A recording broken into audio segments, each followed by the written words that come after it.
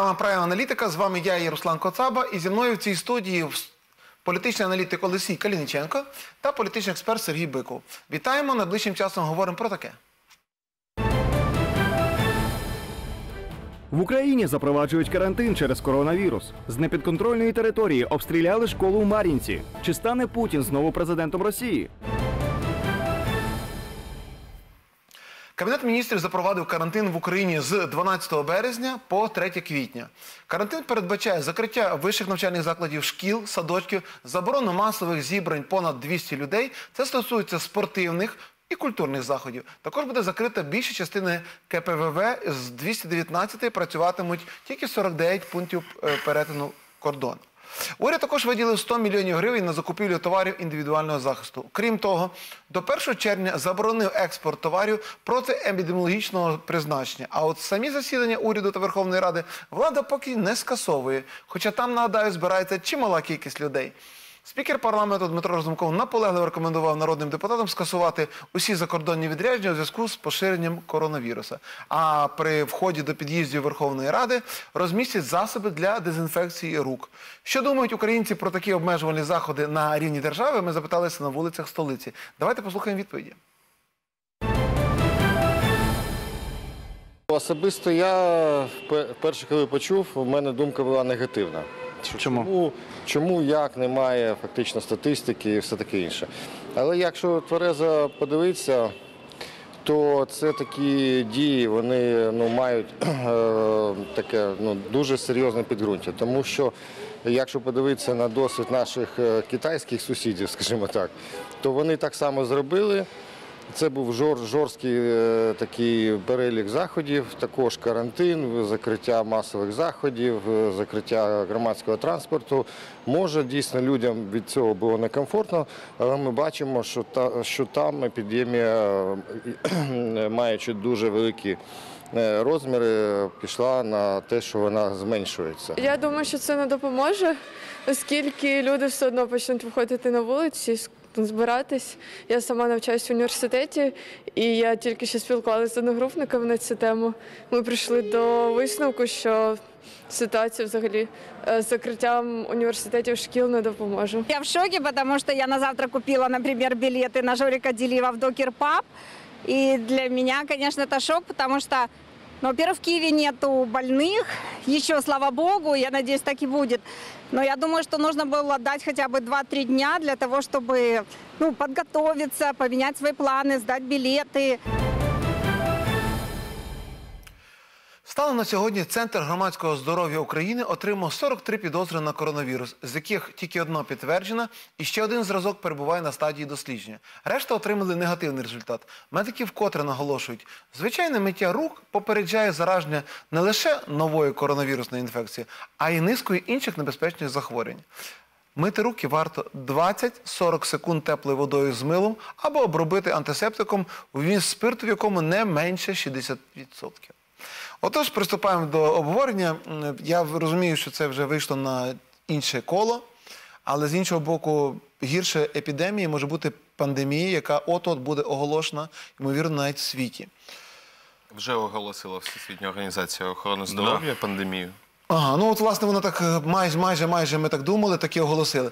Е, пане Сергій, на вашу думку, тут краще перебдіть, чим не добдіть? Чи все ж таки цей психоз він спровокує ще більшу ситуацію, ще гіршу ситуацію у поширенні вірусу? Коли мова йде про здоров'я людей, про здоров'я громадян, влада повинна робити будь-що, аби здоров'я громадян захистити. І дуже важливо, щоб сьогодні люди, які йдуть до супермаркетів, не побачили порожніх полиць, щоб не було цієї паніки продовольчої. І більше того, влада має проконтролювати тих бізнесменів, які хочуть заробити на паніці, та е, штучно відрегулювати ціни. І тим бізнесменам, які будуть заробляти на паніці, будуть звинчувати ціни вгору, влада має бити по рукам найжорсткішими методами. Які в них є заробляти- механізми? Приватні магазини, приватні. а, тут питання національної безпеки та здоров'я нації. Тут немає жодних е, там приватних магазинів. Має бути чітка державна політика. Ми маємо захищати українця, звичайного українця, такого як ми з вами.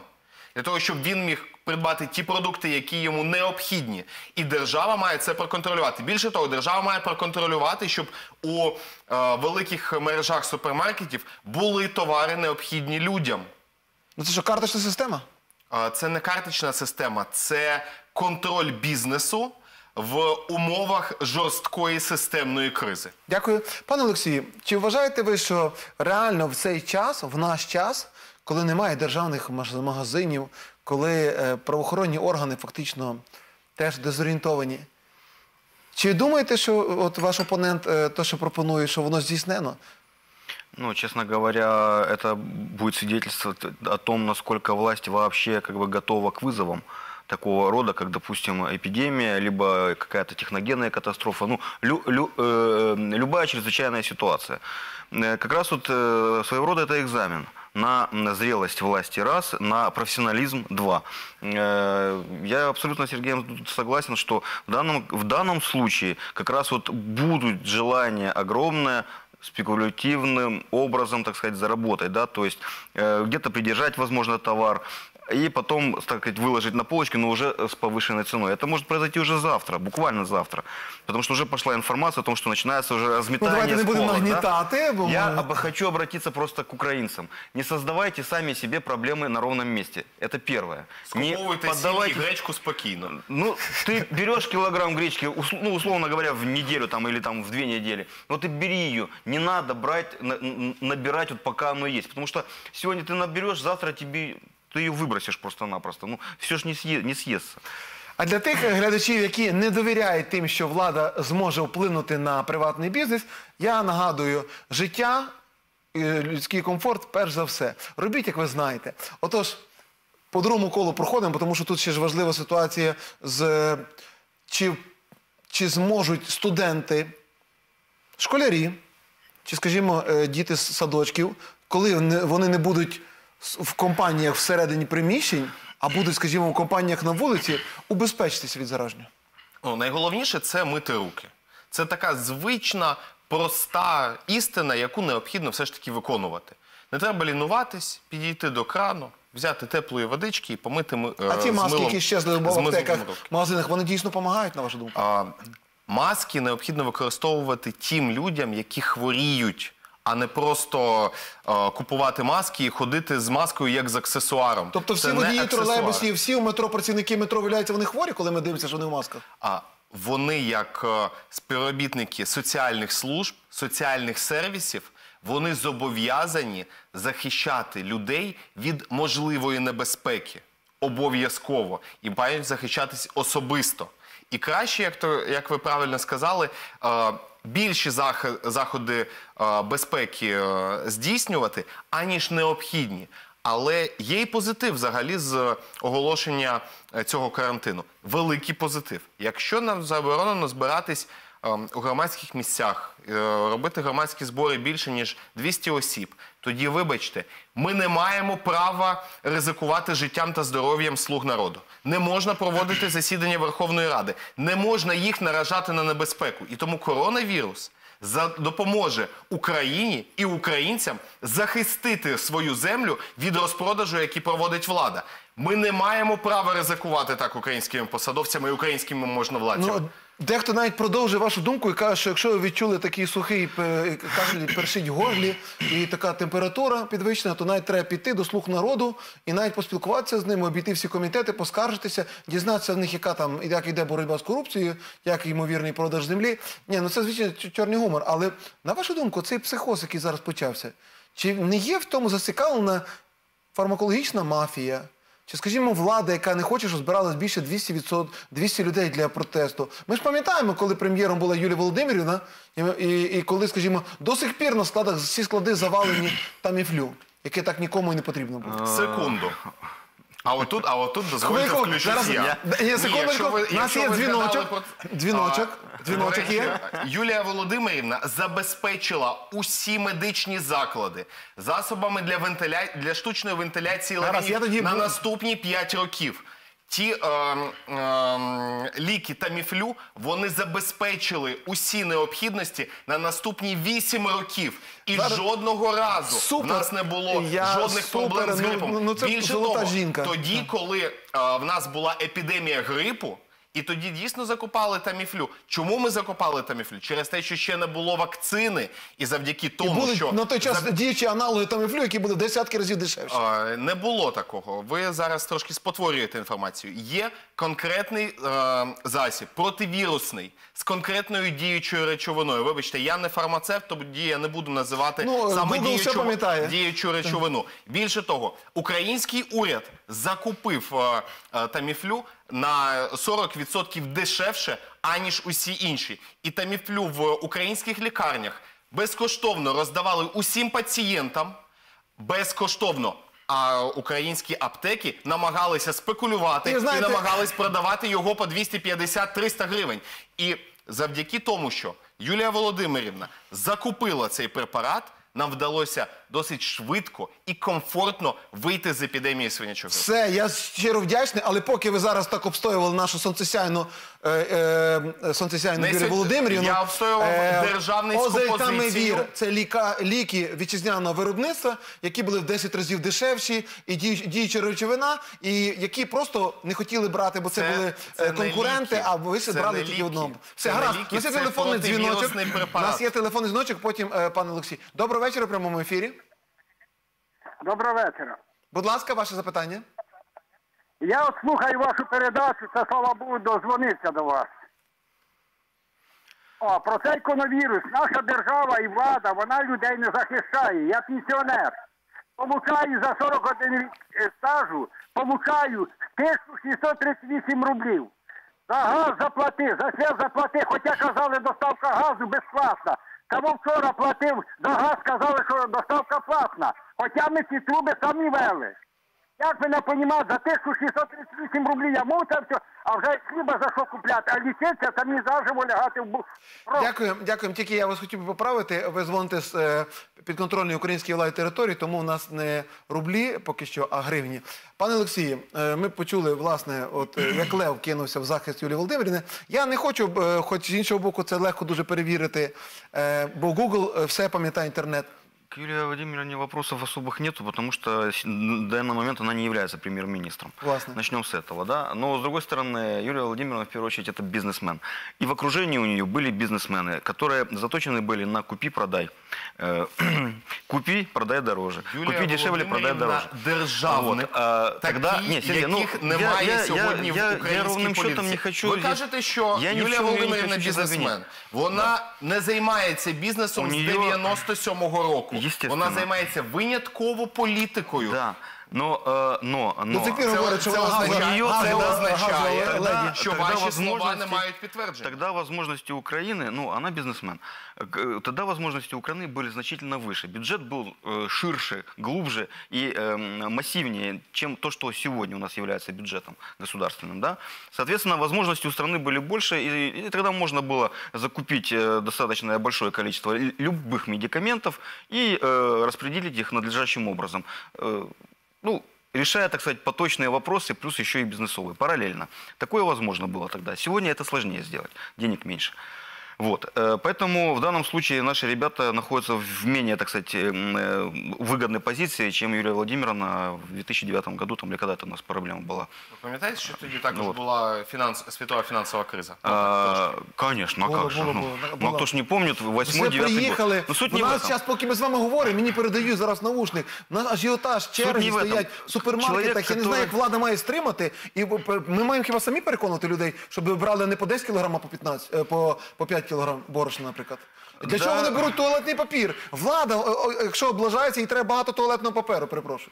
Ну, то, ну, то это вот про- проблемы Влады могут лопухами... Раніше хоч були делать. газети. Тепер Ну, люди газети вы, не Вы читають. поймите, что Жах. и даже если мы сейчас будем э, просить людей не паниковать и не делать этого, все равно будут бежать, потому что из, э, допустим, э, там 100 человек найдется 10, которые сделают так, как им хочется. Вот они считают, что они должны взять там с- с верхом этого І и вони зараз масло. всі супермаркетів в кілометрових чергах. Естественно, на них будут смотреть остальные, слушать нас в полухо и бежать туда же, потому что там же ж не достанется им. Дякую, К Дмитро, я сожалению, перерву. такая вот натура человеческая. Вы сами себе создаете проблемы. Завтра придете в магазин, полки будут пустые. Послезавтра цена будет выше, ну, на процентов 30-40, может быть, даже так. У нас є телефонний дзвіночок. Доброго вечора. в Прямому ефірі. Доброго вечера.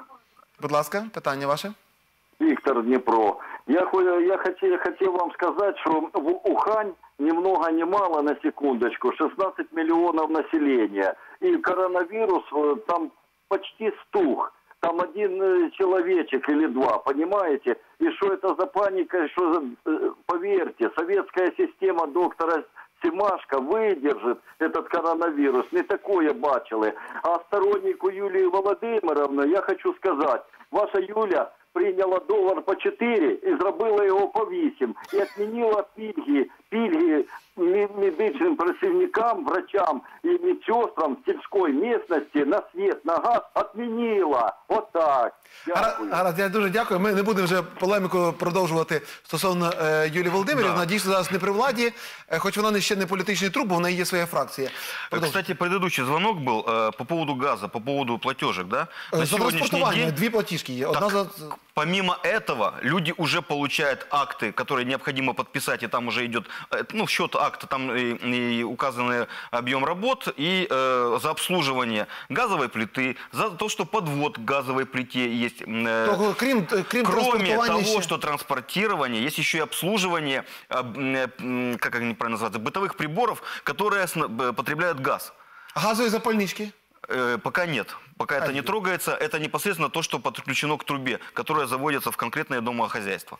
То есть уже, если у человека, допустим, э, есть один котел э, или да- даже два котла, потому что у некоторых э, и, и- и такое есть, э, несколько, м, допустим, од- одна или две газовые плиты, такое тоже возможно.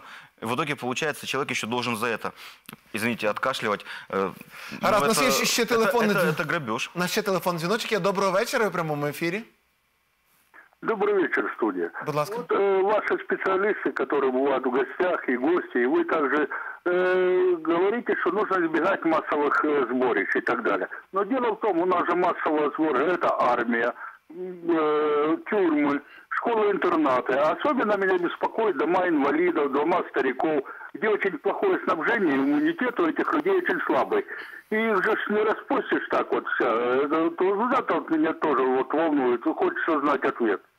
Дякую. Я знаю, що ще би до, до цього обговорення треба було би. У нас буде тема е, призначення е, нового е, міністра оборони Андрія Тарана. Але я думаю, чи, скажімо, призов, оті призовні комісії, теж скупчення людей, може так само відмінити осінній е, весняний призов? Це було б якраз в контексті того, що обіцяли всі без виключення прем'єри і всі без виключення президенти, тобто виключно професійна армія.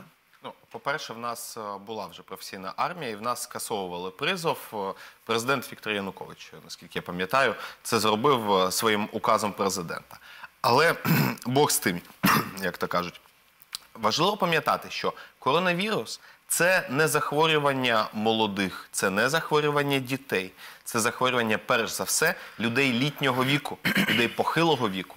І С хроническими заболеваниями, в первую очередь. і смертність е, людей до 39 років складає менше, ніж 0,5%.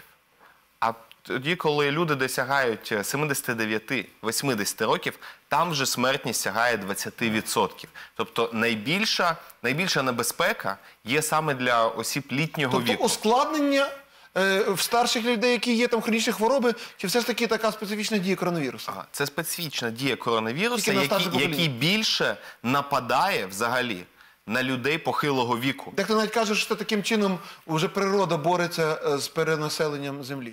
А, Я не знаю, чи то природа бореться, чи, Ну, бо діти то, дійсно чи, то, зовсім не чи то вражаються військові. А, Немає жодного факту смерті а, дітей до а, 9 років. Немає жодного станом на сьогодні. Ну, це реальний е, статистичний факт. Статистика, да? Це Дякую. статистичний Е, Проверял, да? Дякую. Пане Олексій, Ну, тут- стосовно того, що дивіться, е, забув зараз не можу пригадати, яка країна, але там, по-моєму, чи не чи в Греції або в, і- в Італії.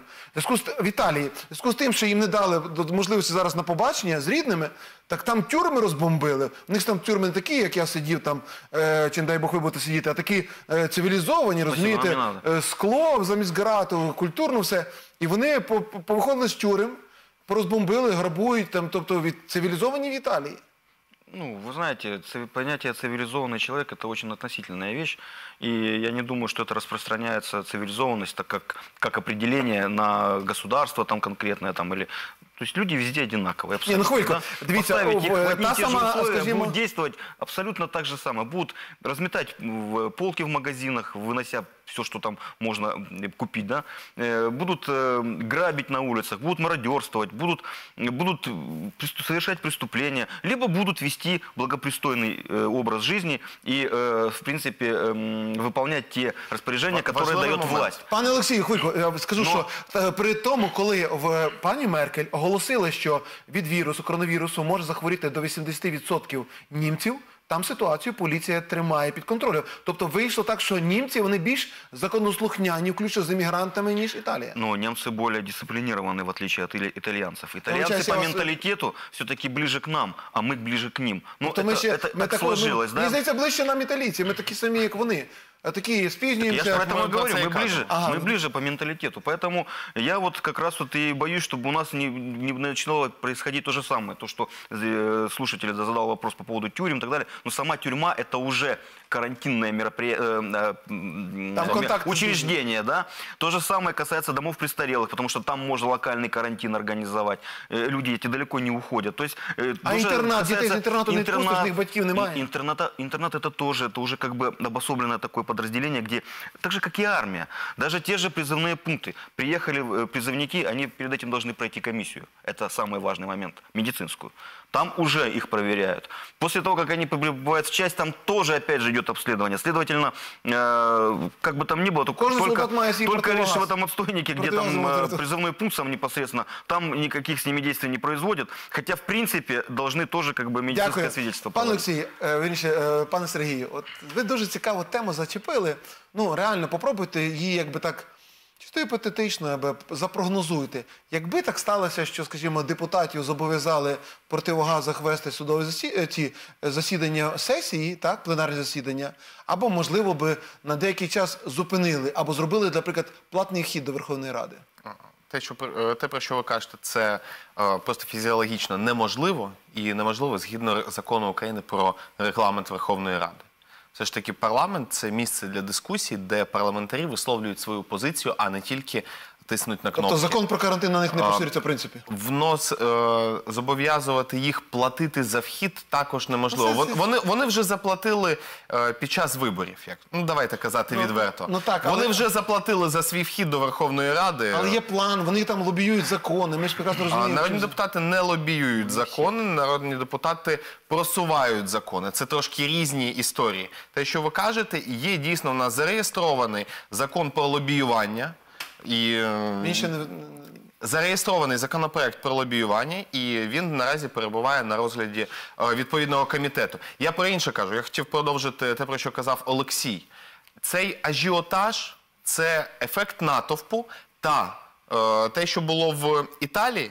Це е, також важли- важливий такий момент, коли є якісь маленькі правопорушення, іншим людям легше переступити букву закону і зробити більше е, правопорушення. Колись е, Манхеттен, е, ні, е, колись Чикаго був найбільш криміналізованим містом США. Ну, гангстерские, Так. да. Е, Ми спостерігали, що усі метро були розфарбовані е, графіті.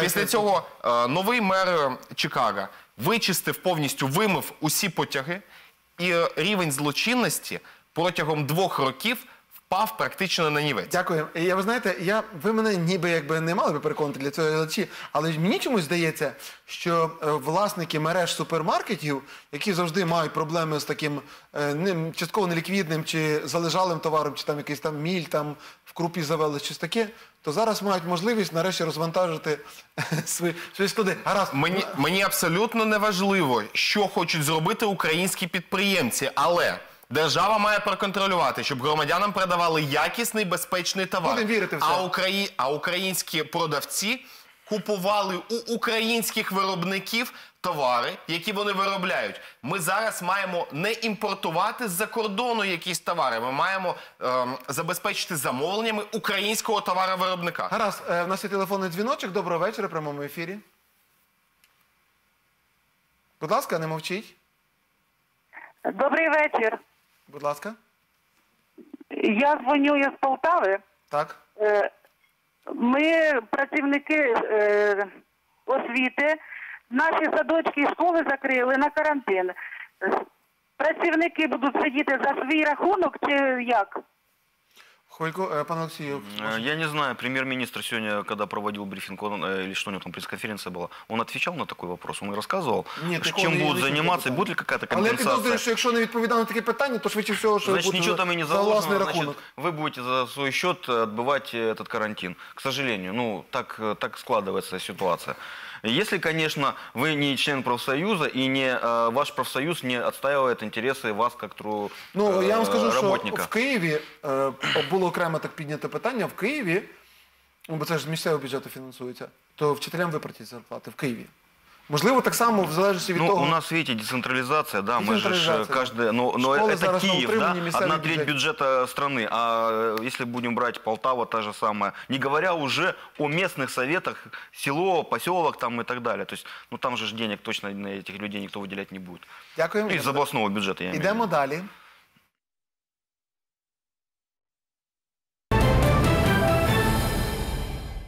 З непідконтрольної території обстріляли школу у Мар'їнці. У смертельній небезпеці опинилися учні, які залишились на сьомий урок, та діти молодших класів у групі продовженого дня. Про це повідомляє прес-центр операції об'єднаних сил. Там зазначили, що комбатанти поцілили стрілецької зброї та автоматичних гранатометів в житлові квартали на околицях Мар'їнки, в тому числі під вогнем опинилися і школа номер 2 цього населеного пункту.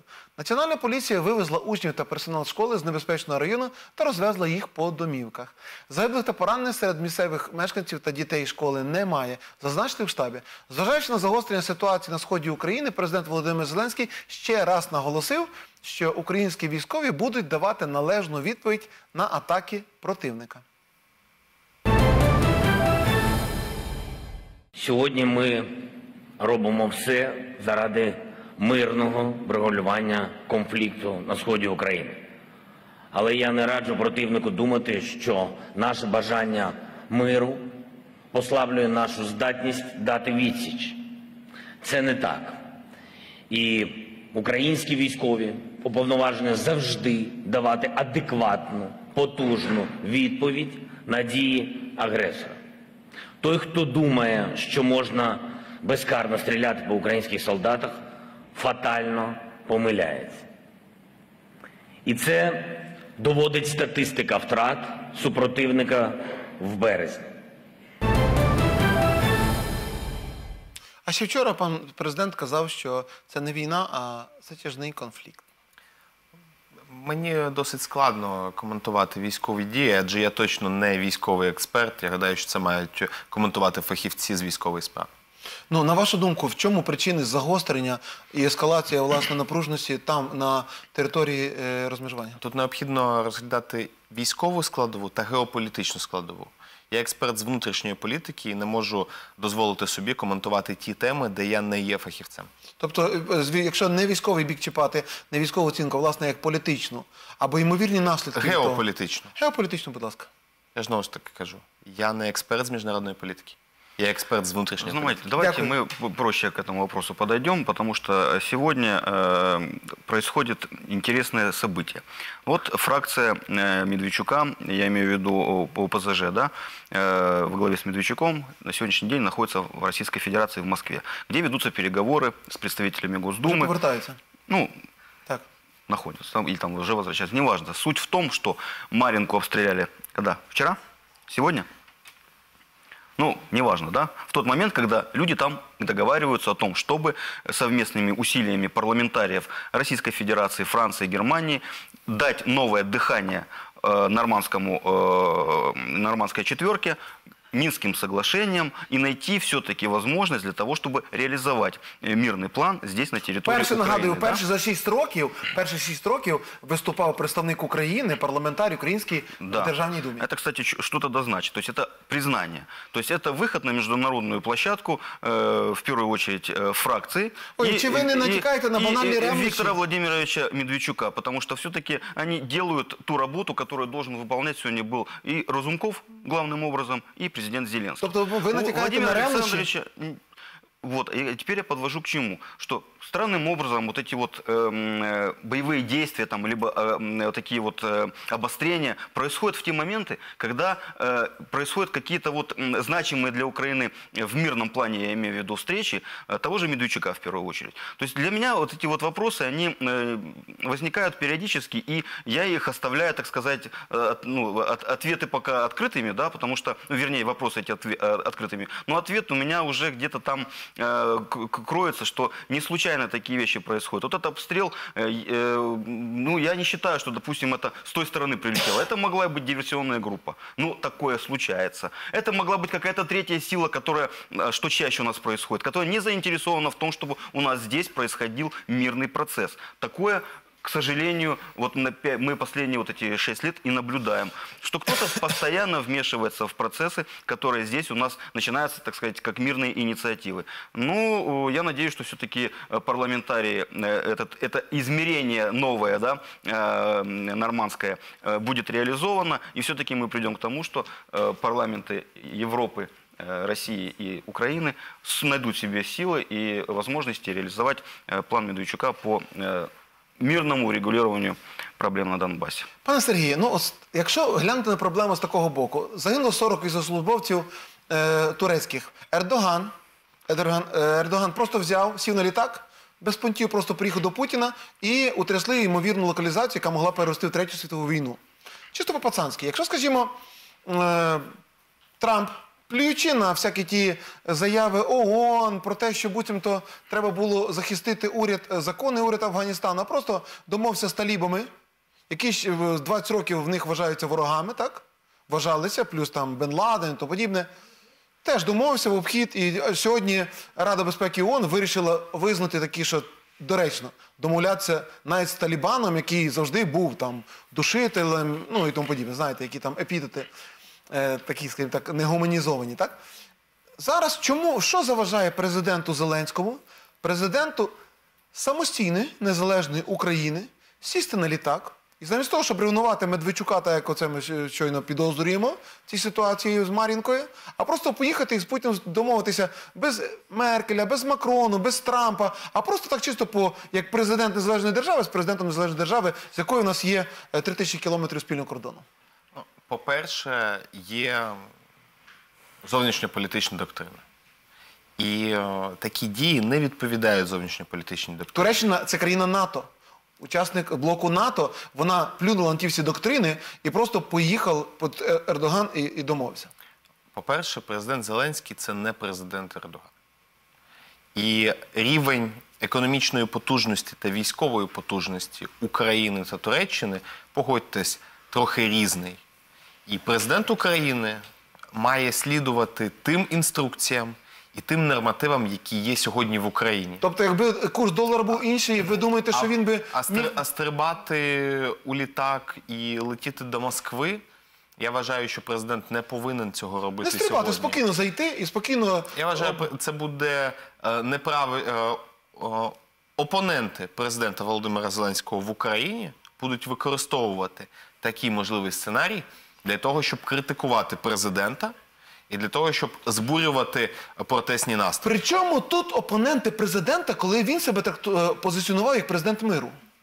Ми маємо слідувати. Ви маєте на увазі Ми маємо оцих, що ми лайно називали чекушка? 25%? Ми, ми маємо слідувати міжнародним домовленостям і об'єднувати світ для того, щоб виконати Будапештський меморандум, щоб Сполучені Штати Америки, Велика Британія і Україна спільно змусили російського президента сісти за спільний стіл перемовин і вирішити, яким чином ми повертаємо Донбас, яким чином ми повертаємо Крим, яким чином ми відновлюємо наші стосунки з Російською Федерацією. Тільки таким чином можна забезпечити мир в Україні. Мінські домовленості вони були ефективні 6 років тому. Вони зупинили гарячу фазу конфлікту. Але за 6 років ми вчергове пересвідчуємось, що мінські домовленості не можуть принести мир. Пане вони Сергію, шостий рік люди у підвалах. Шостий рік наші українські люди у підвалах. І шостий рік Україна жодного разу не звертається з офіційною нотою до країн підписантів Будапештського меморандуму для того, щоб сісти за стіл перемовин та вирішити на кінець е, кінець кінцем це питання. Дякую, і пане- нарешті забезпечити мир в Бачу, Україні. у вас є інша точка зору, але у нас є Дзвонок. телефонний дзвіночок і потім після нього. Доброго вечора, прямому ефірі. Хто ви, звідки ви? Питання? Добрый вечер, любимая студия, пенсионер Юрий из Краснодона. Вот я, я сильно насчет Маринки не знаю, правильно Калиниченко говорит. А вот перед этим, помните, в декабре, по-моему, был крупный разговор, что наши ребята пошли в это в атаку там и тролливали, валитрали, но почему-то э, лейтенант, молодой хлопец, оказался у- убитым на нашей территории, брошенным. И на- наши забрали его к себе. Что это явная была провокация.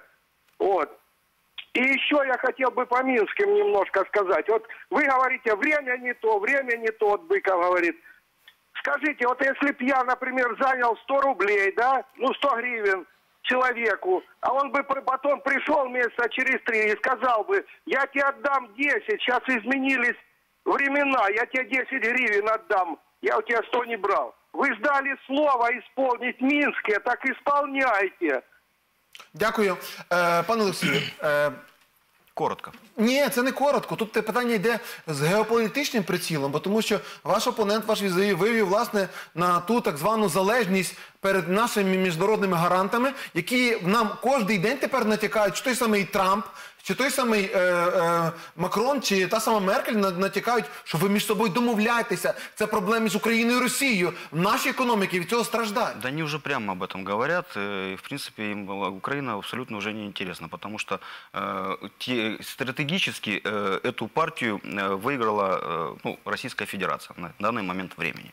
И эм, все движения, которые мы сегодня наблюдаем, они в первую очередь призваны на то, чтобы каждая из э, сторон, участниц вот этого процесса, который вокруг Украины собрался, вокруг нашего кризиса, это Соединенные Штаты, там, Великобритания, ну, в меньшей мере Великобритания, э, Франция, Германия, главным образом, вот эти вот три Ну, страны. да? Евросоюза. Да, э, вот они, каждый решает свои проблемы непосредственно с Путиным.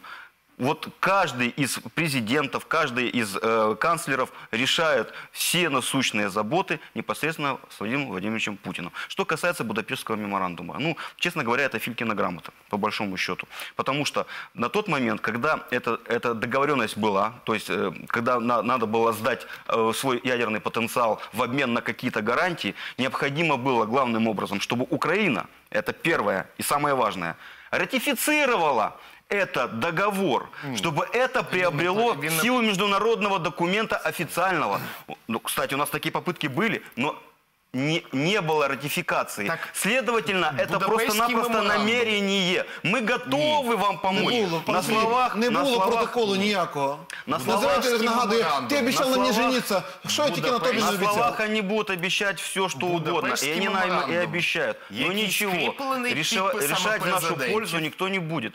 Сереж, ну никто раз в я нашу кажу. пользу решать ничего не будет. У Я ще каждого раз. свои заботы. Я ще раз повторюю: Будапештський меморандум, який скріплений підписами президента, визнаний Організацією Об'єднаних Націй як міжнародний документ. І тому його необхідно виконувати.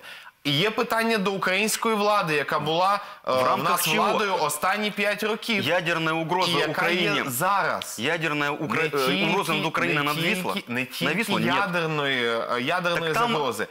Там это линии меморандумі проходят. Іде мова взагалі про будь-яку агресію стосовно України. Так, давайте будемо. Пане Сергію, хотіли, щоб віддали зброю, ядерну зброю, і після, визнає Будапештський меморандум. після Будапештського меморандуму був так званий chicken speech. І є питання, чому Президент. ми Да. не використовуємо Должны- сьогодні Будапештський меморандум Это як надо было інструмент? переводить в, международ- в договор международного значения, в договор. Чому а это остался МЗС мем- меморандум, не жодного более разу того. не звернулася з офіційною нотою? Так это, в- это вопрос к власти украинской, ось в про первую це з очередь. вами і- Так и А я же об давайте я- этом же а говорю. давайте я- Поэтому спитати апеллировать, українську Сереж, ну, гарячі- апеллировать к ф- французам, Эксперты сегодня э, у нас велик- гарячие. э, британцам, к американцам смысла абсолютно нету, потому что мы ничего не сделали для того, чтобы этот, э, эта э, ну, бумага, да, меморандум, приобрела вид документа. По-перше, Організація Об'єднаних Націй визнає Будапештський меморандум як Ну, акт чого. міжнародного права. Секундочку. Не повторюйте, І, це вже друг- чули і друге, питання до української влади. Українська влада, саме міністр закордонних справ або президент, який відповідає за, жод- е, за зовнішню політику, мають звернутись до лідерів країн-підписантів Будапештського меморандуму з офіційною нотою та запросити, скликати їх на ці консультації. Українська влада цього досі не зробила. Чому не зробила? Вони мають це зробити Гаразд, можна? зараз, негайно, Брейк. невідкладно. не да, да, да, брейк, брейк. Дивіться, я зараз, я зараз пропоную ще одну. Я, я ще одну паличку зараз кину в полум'я вашої дискусії, якраз по темі е, мінських домовленостей. Ідемо далі.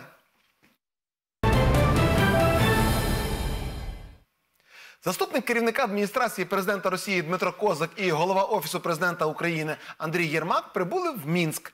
Там вони взяли участь в роботі контактної групи по врегулюванню ситуації на Донбасі. Повідомляється, що під час зустрічі обговорювали списки полонених для обміну, а також визначено нові ділянки розведення сил і засобів на лінії зіткнення на Донбасі. Нагадаю, Андрій Єрмак вже зустрічався з російським колегою 1 березня. Тоді сторони визначили наступний обмін полоненими в форматі всіх на всіх. Україна включила у список 86 незаконно ув'язаних кримських татар. А зараз якраз ще під кутом Мінська домовимо. Виявляється, що Єрмак, керівник офісу президента, не знає, що робить Зеленський.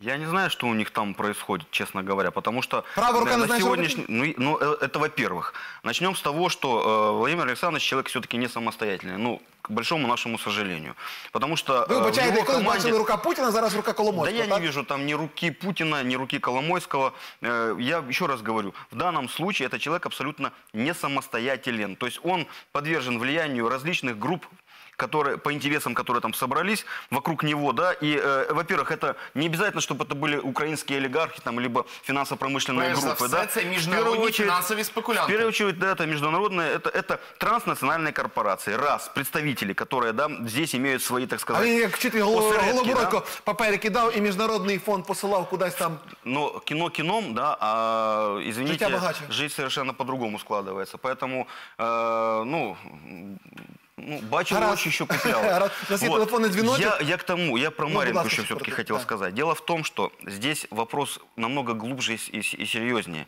Еще раз говорю, так как Зеленский не самостоятелен, то им могут манипулировать как угодно. А вот такие провокации, которые устраиваются на линии разграничения, они э, не от Зеленского исходят. Ну, он, он, он, ну, он не может давать команду на то, чтобы там где-то какие-то эти, м, происходили боевые действия. Потому что есть, Ну, не э, есть, командующий. есть да, да есть иные силы, которые влияют на этот процесс. Потому что мы видели, как э, происходил диалог Зеленского с представителями э, нацбатов там, или кто там еще был, да, в- что на він линии не лох, йому разграни- 42 роки, Ну, ну, во-первых, это не главнокомандующий в данном случае вел так себя. Дякую на свій телефонний дзвіночок. Доброго вечора. в Прямому ефірі. Хто ви? Звідки ви? Доброго вечора. Будь ласка. Я хотів би сказати, що ні воєнні, ні мирне населення, ми війни не хочемо. Політики балуються в цю війну. І от він виступає. А чим воювати? Язиком? Самолеты старые по 40 лет, подводная лодка ржавая. Вы правильно сказали, Руслан. Эрдоган поехал, замирился э, с Путиным. А мы куда лезем? Турция, правильно вы сказали, член НАТО. И поехали, замирились. А мы куда прем? Куда мы прем? На тот свет? Дякую. Дякую. Ну, це більше як е, Крик душі. е, репліка, але, будь ласка, відрефлексуйте. Я вже чув новини про те, як е, натівські підводні човни е, наближають е, по Кальміусу наближаються до Донецька, але це трошки такі м, жарти та викривлення. Жодних натівських п- підводних човнів у Кальміусі немає, і е, місто Донецьку нічого не загрожує. Ну ви знаєте, що на одну підво... пі- на один підводний човен, де це Запоріжжя він називається, у нас є шість адміралів. Ну, Це питання до управління армією. Я ж кажу, про це мають давати свої коментарі військові та міжнародні експерти. Дякую. Нашим глядачам я нагадую, що ви можете долучитися до розмови в прямому ефірі. Номер телефону ви бачите на своїх екранах. Дзвінки абсолютно безкоштовні. А ми йдемо далі.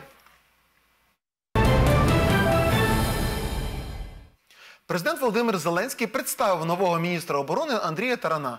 Глава держави у своєму виступі визначив основний пріоритет роботи нового міністра це забезпечення високої обороноздатності України. Зеленський сказав, що для нього важливо, щоб армія поважала міністра оборони, тому він консультувався з начальником генштабу збройних сил щодо кандидатури. Андрій Таран, генерал-лейтенант у відставці. Він професійний військовий, раніше працював в Міноборони і представляв Україну в центрі з контролю та координації питань припинення вогню на Донбасі. От ми зараз з вами і бачимо, що буцімто вже тепер його люди, і всі рішення, які будуть приймати.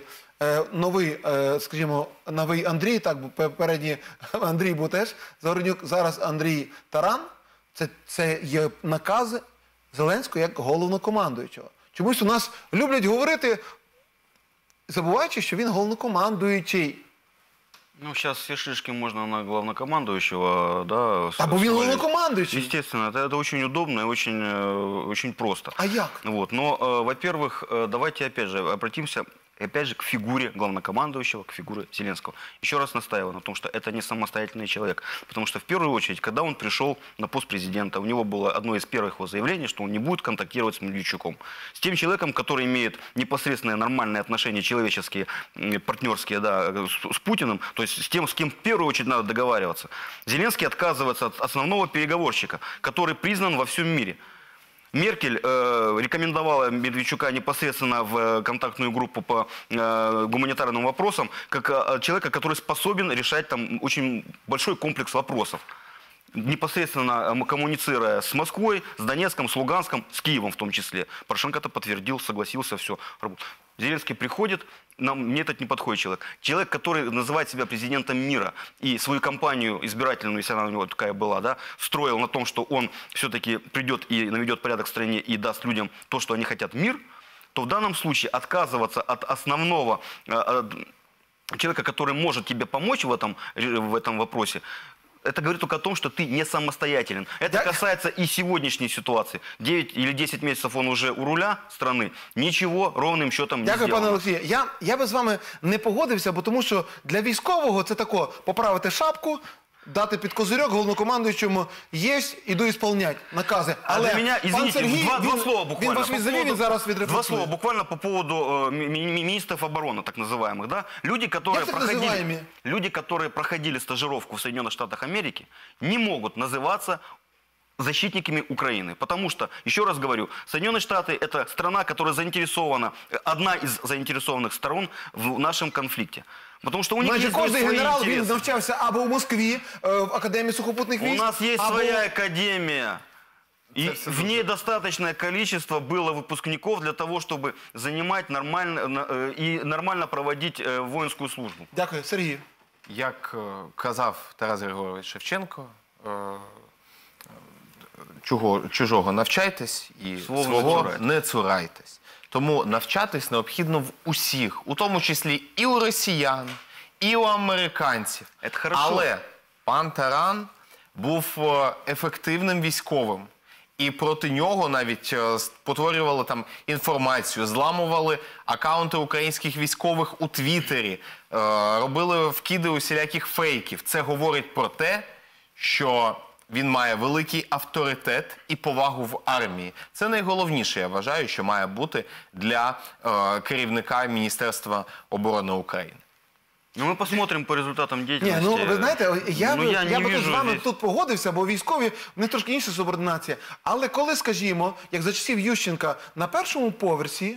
е, Чи не на першому тоді вважається, на третьому поверсі е, СБУ на, Володимир, на вулиці Володимирська, 33, сидить штатний е, ФБР, працівник ФБР своїм е, штатом.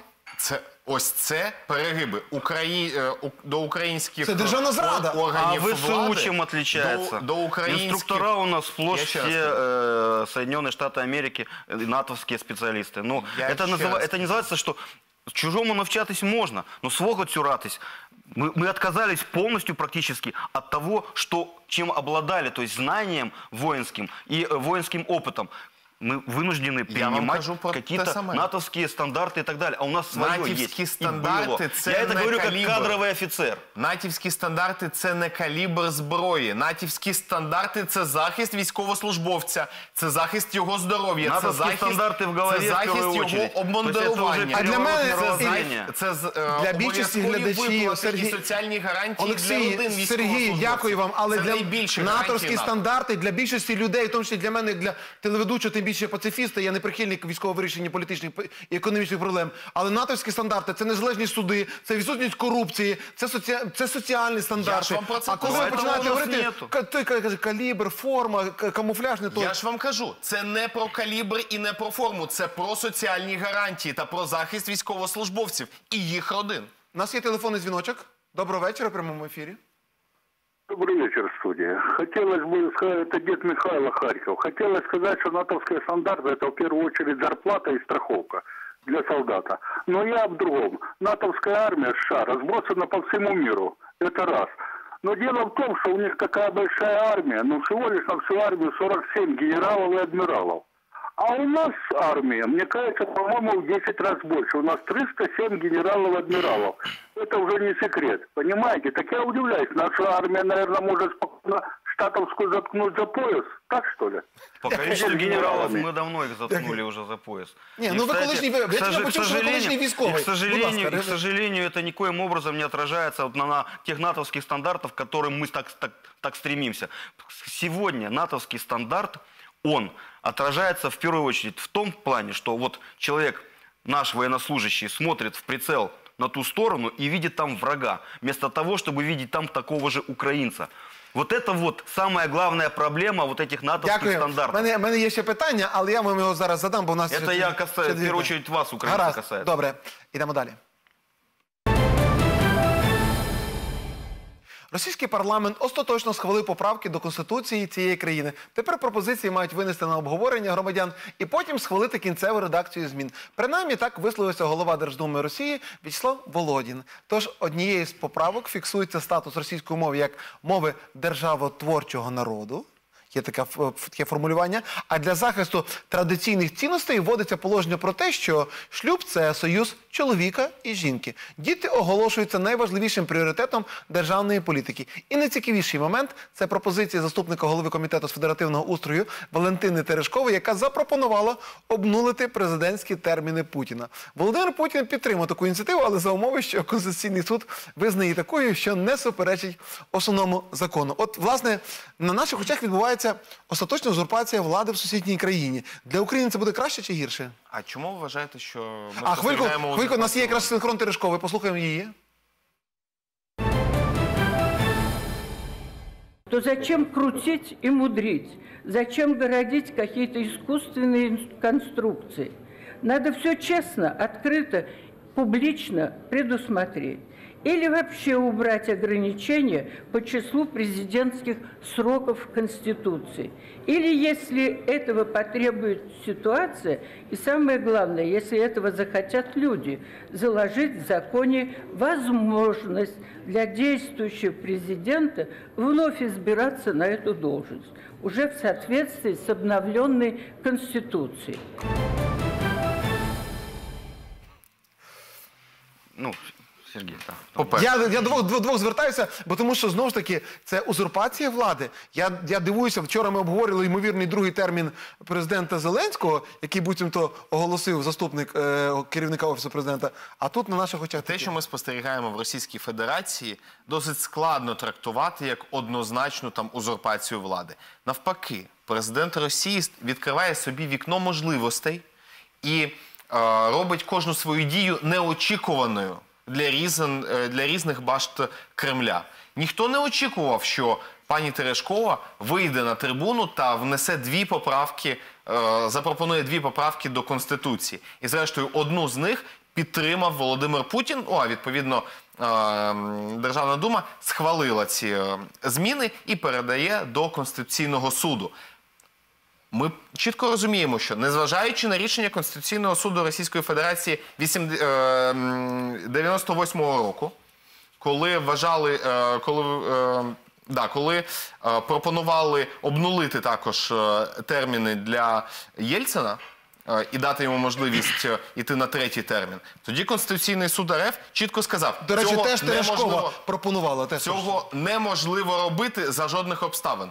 Але сьогодні, коли ми спостерігаємо судову реформу в Російській Федерації, і в 2021 році в е, в них залишиться з 15 судей Конституційного суду, їх зменшать до 11. Із цих 11 дев'ятеро призначені вже за часи каденції президента Росії Володимира Путіна. Тому, звісно, Конституційний суд закриє очі на своє рішення 98-го року і затвердить відповідне рішення е, російського парламенту. Але це не гарантує, що у 24-му році президент, е, Володимир Путін піде знову ж таки на перевибори Володимира Путіна. У тому випадку, якщо між Україною та Росією буде мир, якщо Росія буде показувати гарні економічні показники, тоді Путіну не потрібно буде йти на вже е, е, наступний термін. То він може Тоді до він 36-го року. Тоді він підготує собі Преемника. е, так, особу, яка його. Замінить, і відійде, і буде батьком Дякую, російської дякую. нації. Пане Олексію, ну, е, ми, ми знаємо дійсно, що рейтинг е, Путіна е, стільки, ро- після стількох років е, керування, по суті, захмарний. Там в нього немає і близько ті, які могли би з ним тягатися. Ну, а Меркель?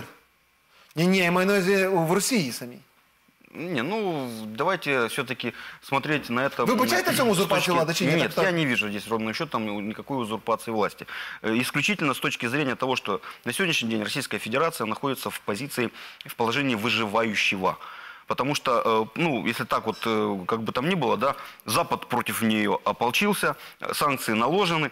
Ну, как, каким, э, ну, что надо делать для того, чтобы в этой ситуации выжить вот, большому государству? Необходимо продолжать те преобразования, тот, ту линию, которая была заложена, допустим, еще начиная с 2000 с 2000 года, да, когда он пришел к власти. С 2007 пошел новый, так сказать, этап развития Российской Федерации. Сейчас она находится, переходит в качество новый, на, на качество новый уровень. И э, менять, извиняюсь, коней на переправе, это глупо. Поэтому в данном случае просто мы видим несколько, ну, такую сценировку, да, театральное представление, может быть, немножко, ну, ж- грубоватое, да, это можно было как-то э, и мягче сыграть. Но, но в любом случае это действие абсолютно верное, абсолютно правильное с точки зрения политики, экономики, геополитических изменений в мире, которые происходят. Потому что мы входим э, в режим работы нового миропорядка. В данном случае это абсолютно верное, грамотное решение. Ну, українцям це не здесь- дуже. Ми, ми якби наполовину анархісти. нам, для нас Ну, это плюс больш- э, в первую очередь. Опять же, коснусь фамилии Медведчука, потому что в данном случае остается возможность все-таки каким-то образом, но решать проблему на, Дон- на Донбассе. В данном случае немцы, французы знают, с кем они будут иметь место, э, дело в будущем, и они с- выстраивают свою политику соответствующим образом. В Соединенных Штатах тоже понимают, что через пять лет кто будет президентом Российской Федерации. И это говорит только о том, что мы попадаем в такую зону некой стабильности даже. Можно так Дехто би это навіть даже назвав його обозначить. стабілізець. Гаразд, Э, да вы переходимо, знаете, переходимо до, не- до наступної стабилизация как бы теми. у нас там не наступил. В Ватикані українки зіпсували старовинну фреску. В парадному залі апостольського палату виявили нашкрябаний надпис Лена Тамара Вінніца. Хто вони, ці любительки високого мистецтва, невідомо. Начебто це туристки з України, а зіпсували вони е, фреску, яку ще Рафаель разом зі своїми учнями розписали у далекому 1508-1517 роках. Ну, це буквально вас по одній хвилині відрефлексувати стосовно того, що е, може і добре, що в нас не розвинений е, не тільки внутрішній, але й зовнішній туризм, бо тому що і від коронавірусу так легше врятуватися, і менше ганьби за кордоном. У кожної нації є люди, які переступають закон і які ведуть себе неетично. Зараз невідомо ще, хто саме зіпсував старовинну фреску. І аналогічно можуть там е, поляки поїхати до Ватикану. І, і, та же рука і, Кремля. і написати, Ну. і написати, що о, там Трамп наш президент, умовно кажучи. Необхідно встановити, хто саме це робив І їх знайти, я вважаю, що у цьому має бути е, завдання А української влади. камеры там везде натыканы, они, в принципе, могут это если бы, э, очень легко и Досить просто легко вычислить. зробити. Правильно, да. Хоть Вот. и- И я, я не исключаю, что это просто может быть и провокация против Украины. Так. Почему нет? Я ж саме про це і кажу. Ні, ви знаєте, зараз Ну, у нас достаточно, извиняюсь, да, ну, у нас достаточно таких вот дух, да, которые готовы вот э, даже в таком месте, ну, честно говоря, это все-таки... В усіх країнах є такі відчайдухи. Мягко говоря, уроды. Ну, ви знаєте, е, в нас е, я сам з Галичини, як ви знаєте, і в нас зараз е, серйозна проблема, тому що більшість наших жінок такого дорослого віку вони працюють в Італії. Тобто це рахується після Польщі і Чехії, це рахується супер. Краще Італія вже там Британія і Сполучені Штати. І власне зараз в зв'язку з тим, що Італія повністю відмежувалася карантином до 3 квітня наглухо в'їзд і виїзд закриті. Для них проблема, тому що всі вони набожні, і всі вони щороку їздять е, подивитися, а як там їхні чада, їхні діточки, внуки, е, родичі, які вони передають регулярно щомісяця е, мільйони доларів євро. І це дійсно це більша проблема, напевно, для українок, які зараз є в Італії. Ну, гаразд, це так просто для, для інформації. Это бо- для Министерства иностранных дел. Так. Наша Для премьер-министра. Дякую. Так, перша година нашого ефіру добігла до кінця. Нагадаю, в цій годині разом зі мною в студії були політичний аналітик Олексій Калініченко та політичний експерт Сергій Биков. Ми їм дякуємо за розмову. А за мить ми повернемося до ефіру і з новими гостями обговоримо нові теми. Тож дочекайтесь.